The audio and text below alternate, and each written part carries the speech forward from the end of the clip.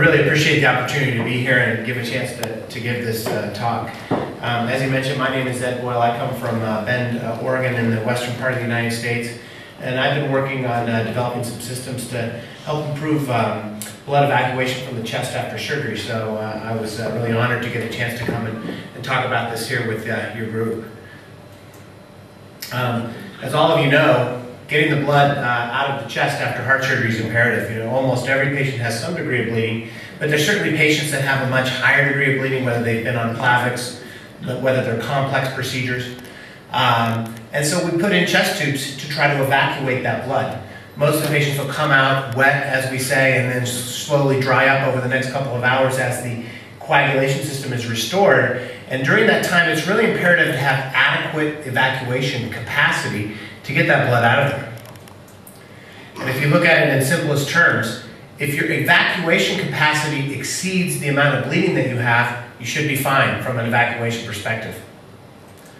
But if your evacuation capacity is not as much as you're bleeding, then you can start to have problems with blood building up around the heart and lungs, which we call retained blood complex.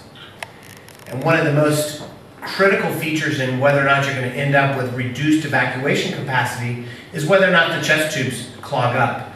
Um, this is something that we've surveyed, almost all heart surgeons and nurses are, are aware of this problem. Uh, there was a study done at the Cleveland Clinic uh, by Dr. Gillinov's group um, where they could show this in at least 36% of their patients, and these were elective, you know, first case of the day, uh, not the more complex patients. And what was interesting is if you look at this picture right here, about 80% of the time the clogging was on the inside of the tube where it couldn't be seen on the outside. So the nurses will do all the work they can up to the skin level and strip and tap and try to get as much blood, but most of the clogging's up here where the, where the side holes are.